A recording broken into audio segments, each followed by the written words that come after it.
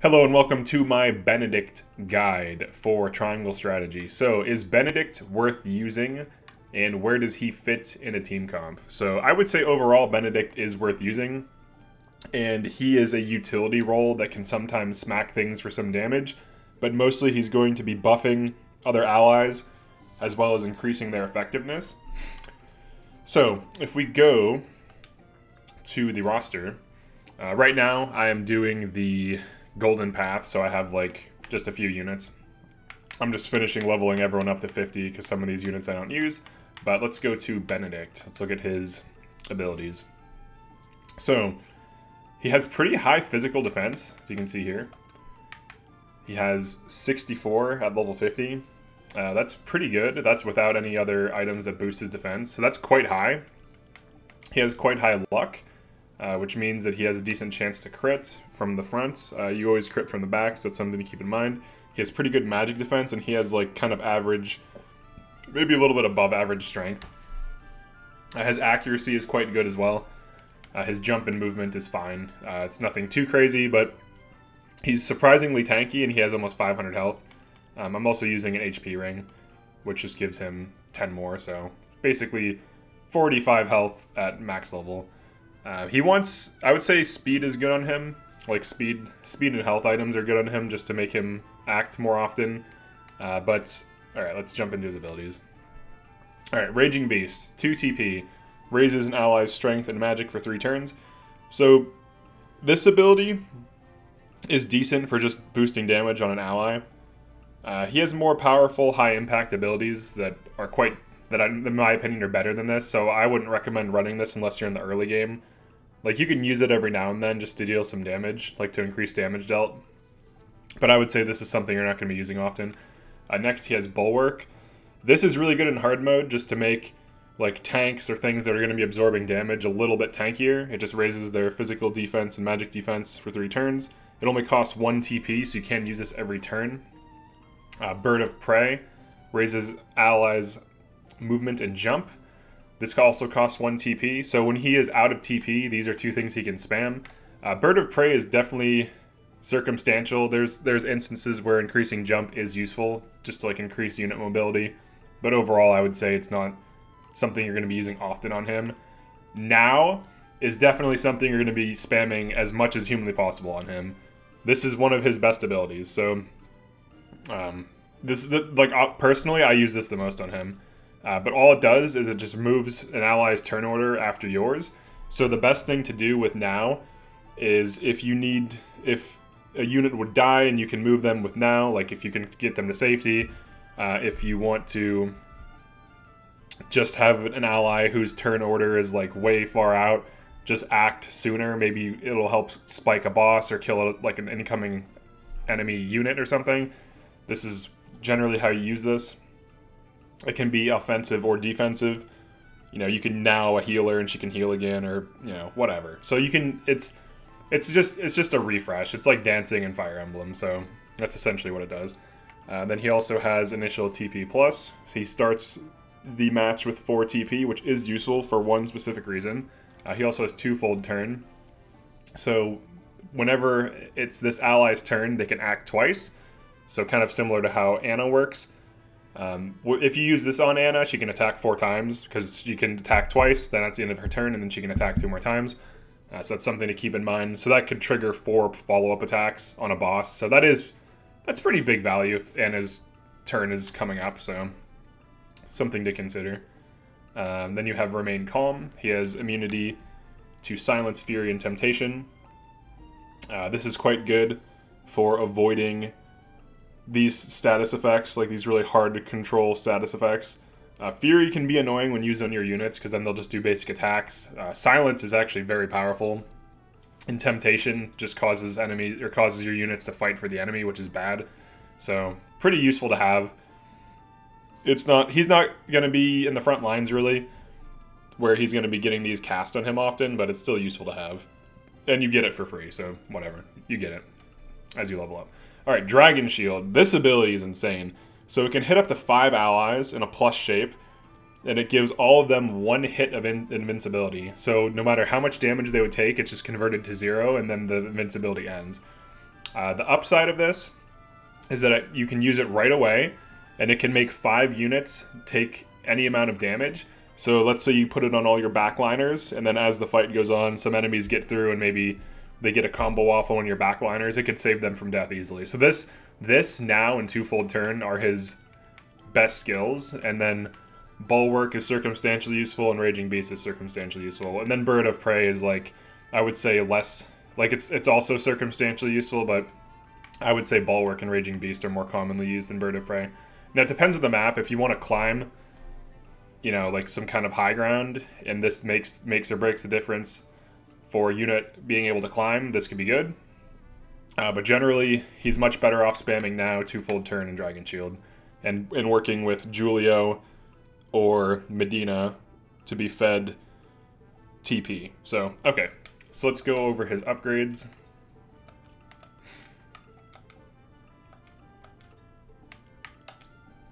Okay, so his first upgrade is just damage, plus 5 damage. Uh, and then we have plus 10 health, uh, plus 1 strength, plus 1 physical defense, plus 1 magic defense. So he has very vanilla basic upgrades for tier 1. The damage isn't the most useful because he's not going to be... If he's whacking things, like he can and it's fine, and sometimes it can help like finish a kill. Uh, but he should generally be spamming now twofold turn and dragon shield. And then if he's not, he should probably just be waiting or using an item. Uh, having him whack things can be useful in some instances because, like I said earlier, he has average, a little bit above average strength and pretty good accuracy. So he can deal like a you know 50 to 100 crit damage on an enemy at level 50. So that's not bad. And then obviously he'd hit even harder if I increased his damage more. But uh, I'm not about to waste. I don't have enough superior stones for that shit yet. So We'll get to it when we get to it, but it's not a priority. So him getting damage is not a priority at all. Uh, him getting health is fine. You can get it, it's decent. Him getting strength, I would say, is also not a priority. Uh, him getting defense is fine.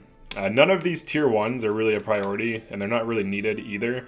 He's already quite tanky without them, and him dealing more damage is not very useful, so most of his tier 1 upgrades are just, like, almost worthless.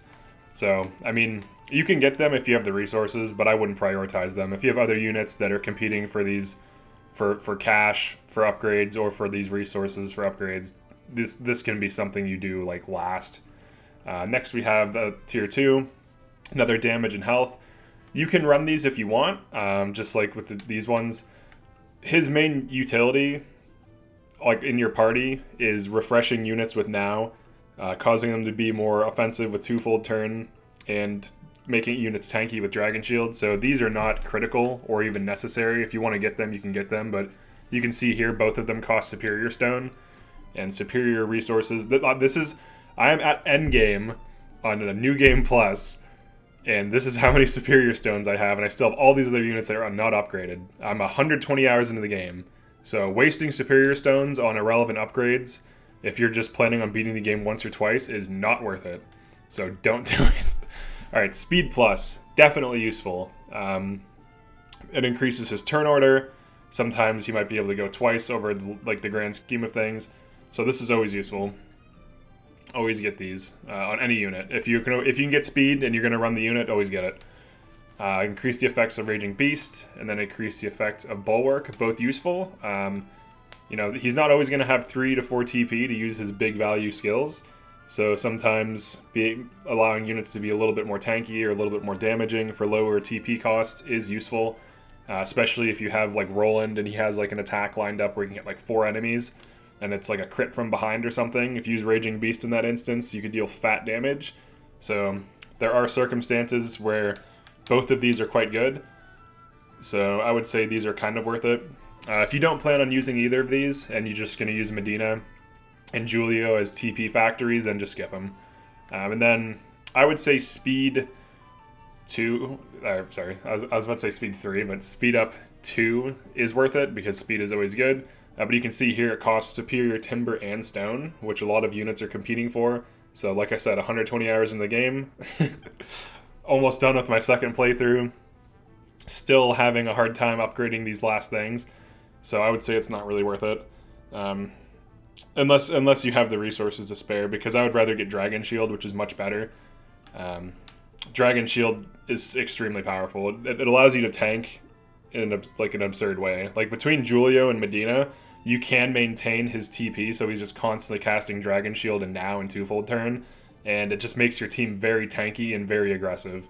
So I would say this is much better than speed. Speed is good, and you do want to get this, but you want to prioritize more like damaging units because Superior Timber is used by like almost every archer. Uh, it's used by a lot of mages. Superior Stone is used by a lot of physical classes. So giving him a little bit more speed when his speed stat is already decent is not big value, but if like you know you're on your third playthrough, go for it. Uh, okay, so that's his upgrades. I would say this is like not even really worth running. Increase the duration of Bird of Prey by one turn. Like Bird of Prey, I don't even think is good. So I just wouldn't. I would just skip this. Uh, okay, so let's go over his positioning. Let's just do like a basic mock battle. Um, I just beat this one with Quahog, which is hilarious. I think it's how you say his name. Um, I still need to beat these ones. I just haven't gotten around to it. Uh, the main reason is they just have quality stone and timber. This one's worth it because of the superior, so... Alright, so let's do... I guess, what's this is? Or what's this one? Uh, reinforcements. Oh, there's no way I can do that with my with my B team. I have units. I can try this. Alright.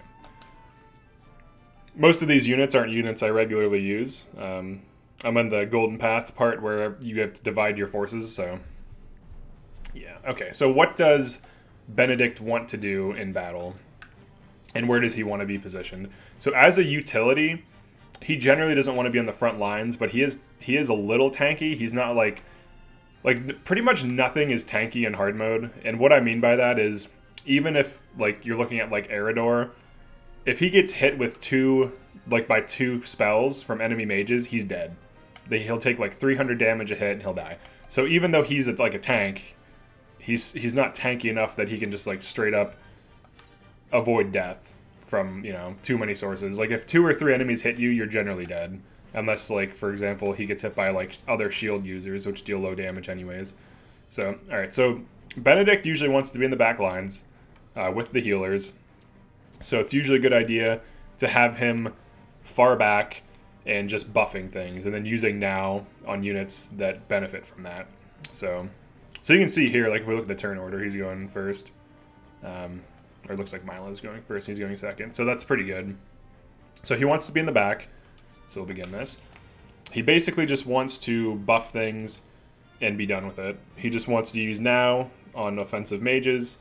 Uh, you want to feed these these mages and you know maybe rangers if you're using like Archibald or something. You want to feed them TP with Medina and Julio, or just Medina. And he wants to just sit back and use utility skills on things. And then sometimes he'll he'll whack enemies as well. Uh, so I'm just gonna move Milo up here. Alright, so right away, I can Dragon Shield. I would say this is a little bit better than using now in this case, uh, because the enemies aren't even within range, so I might as well just defensively use Dragon Shield. And then I can double item with Medina and have her give him two TP back, and then he can now, once it's his turn. So we can do that. I think I forgot to buy items, though, so we'll see. Yeah, we have... Oh, I can use these. Oh no, I can't. It has to be healing items. I forgot to buy healing items, so... Um, alternatively, she can just straight up make someone's turn. So, let's see. Let's make it your turn. And then she can do something like this.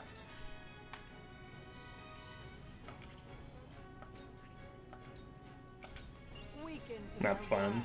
But this is this is like how how Benedict plays. Like he just kind of hangs back and buffs things, and then you feed him TP, and that's pretty pretty useful. Uh, I'm gonna move him. I don't want to be I don't want to be too exposed. I guess I'll just put him here. Whatever. I want him to use King Shield, and then this guy can do the thing he likes to do.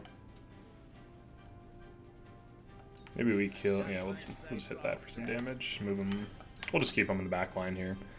Alright, she is unupgraded, and she's also a veteran, as you can see, so she's just, like, having a hard time. I just got her. She'll just whack this guy. It doesn't really matter. She'll just whack him. But Benedict isn't really hard to run. He's, like, if anything, he's one of the most straightforward units in the game. He's just, like, pure, pure utility. You just use him for his big value utility or his buffs, and then sometimes he contributes by whacking things. That's pretty much all you need to know about him, to be honest. Uh, there's like like for specific strats where you like use now in certain ways. Um, it, it's up to you how you use now because it's a very versatile skill. Like you can pretty much, damn, 75% paralyzed. That's crazy. Zana's proving to me that she's really good with like, I mean, her, her average paralyze is like 60% against same leveled units or maybe 50, but that's still pretty good because she hits fat damage. So, okay. So what do we want to do here? We'll do this. We'll get our boy. So similar to Benedict, Medina has like a cheaper now that's quite insane to be honest. Like Medina might be better. She's probably just better than Benedict. she's she's like her and and Quahog. I think that's how you say his name. Let me look at his. Wait, do I have him on here? Or no, there's only okay. I'm, I'm not running him currently. Uh, but her and in the in Quahog are insane. Um, all right, so in this situation, I could run up and whack this, but then I could get hit by three different things. If I had to guess, I could probably tank it. So we'll just do that. Because he's low on TP, so he can deal some chip damage. And he has a he has a invincibility frame, like or an iframe. He has a it's a fighting game term. He has a, an invincibility for one attack, so. Okay, so she's doing her thing. Uh, yeah, I would have I would have liked to spike everyone's TP, but unfortunately we're in this situation, so I'll just do this even though it's not. Or maybe I should. Uh, what are you at? All right, I'm gonna do this even though it's kind of weird. I'm gonna blue knight this. I'm basically just making it so it can't cast a spell. And then she steals a TP, which is nice. All right, we got the old guy. Wow, I could have just killed it. Whatever. All right, he'll just hang back. So yeah, so that's Benedict. Uh, pretty good unit. There's really nothing wrong with him. I would say when you're on like New Game Plus and like New Game Plus Plus and stuff like that, you're probably better off just running like Medina uh, because she's insane. She can she can heal things. She can restore TP. She can make people now for two TP. Like she can get the effect of now for two TP, which is ridiculous. So like when you're on like New Game Plus and like New Game Plus Plus, like she's probably the metagame for sure, more so than Benedict, and he's he's probably like like B plus tier, and she's like straight up S tier, and she can also heal, and she has like these she has so many insane abilities, and she can just keep resetting people and keep healing them and giving them TP. Like she's like a combination of Benedict and Julio. Uh, she she can't let things tank as hard because obviously Dragon Shield is good. So like all these units can just get hit and they'll take zero damage. And prevent prevention is really good in any tactical game. Uh, and there's also the the saying, uh, an ounce of prevention is worth a pound of cure. So the idea that you can prevent units from taking damage in the first place is really useful in a lot of situations. Alright, this guy needs levels badly, so what can you kill, if anything? Guess he can Fury this. 90%, cool. I'm not so sure about Flanagan, but we'll see. We'll see how he does. Alright, so she'll just kind of walk forward and just, like, nuke something. Nuke this guy, why not? But yeah, that's pretty much all there is to know about Benedict. He's a good unit, and he brings a lot of utility to the table and he has like some chip damage, but essentially everything he can do aside from Dragon Shield, Medina can just do better. Um, but he still is really solid, and you don't get Medina until like a few chapters in, anyways. So, and or like for your first playthrough, she costs money to use all of her abilities, which can be kind of a turnoff. And her big value is when your economy is like insane, and you can just continually spam 750 gold items. The you know the basic ranged uh, recovery pellet or whatever that hits up to five like allies total, and each one of them gets a TP from that. That's where you get like big value from her. So like for your first playthrough, she's not nearly as good as Benedict unless you plan on farming a lot of money. Uh, but for like new game plus and new game plus plus and like very end game stuff, she's in, she's absolutely insane. So, so yeah, that's it for Benedict. Uh, let me know if I missed anything, or I, I, specifically didn't go over like any advanced tactics with him because that's going to come up in a different video. where I go over like unit tactics and stuff like that. Uh, the reason I'm saving that for a different video is because I don't want the videos to run too long, and I feel like it, it'd be best for me to learn how every single unit is individually before I start making videos on advanced tactics for coordination. I am about to beat the game a second time on hard mode, uh, but I still have a lot to learn. So I would prefer it to start like just do you know run units for a, a lot of chapters, get really used to their mechanics, uh, learn as much about them as I can, and then from there, uh, just kind of you know make basic tutorials per unit and then do advanced tutorials later for like endgame tactics. And you know other people are going to discover metagame stuff too because a lot of people are playing this game. So there's going to be a lot a lot of people contributing to the knowledge base of this game. So so yeah. We'll start with the basic ones for now and then move on to other ones. But if you like this type of content uh, definitely like this video and subscribe to this channel. I'm going to be making a ton of triangle strategy content as well as uh, going over like tactics, and I'll probably do some Three Houses content too. It depends because it seems like Three Houses is kind of like like there's so many tutorials for Three Houses, it's almost not worth it to do. I like to cover things that haven't been covered yet or that like haven't been covered fully. So looks like Alvor is probably dead. Unless I do this. But yeah, definitely. Oh yeah, and also drop a comment if you want, uh, letting me know uh, what kind of tactics you use, what you find best, uh, if Benedict is a good unit or not, why or why not. And yeah, thanks for checking this out, and I'll see you in the next video.